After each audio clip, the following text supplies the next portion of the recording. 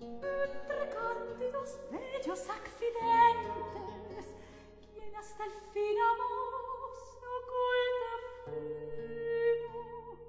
Salud siendo las gentes que a comer llegan El manjar divino.